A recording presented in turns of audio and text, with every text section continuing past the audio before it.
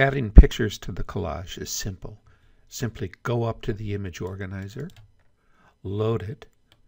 I like to load it into the pane view because every time I click on an image, it comes up in a larger thumbnail. So to add images to the collage, click on the image that you want to add, press Control, select another image, keeping Control pressed. Let's add four images here. Go up to the collage icon,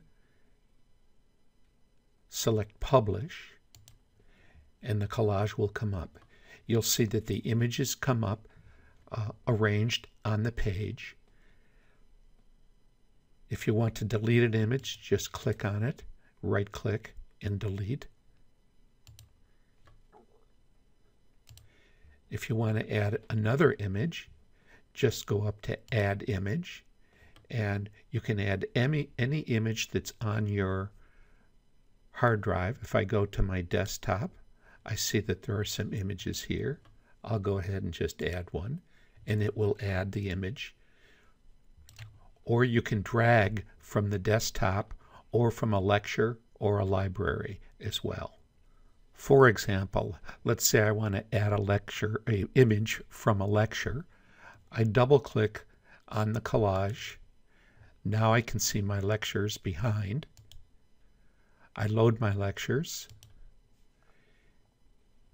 Here you can see are the slides in my lecture. I simply click on one picture, click it, and drag it.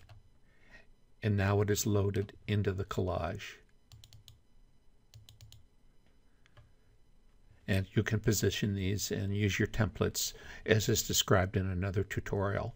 So you may take images from your library, from your lectures, from other patients, from uh, an email on TDO Clinical, and you can add them into your collage very easily.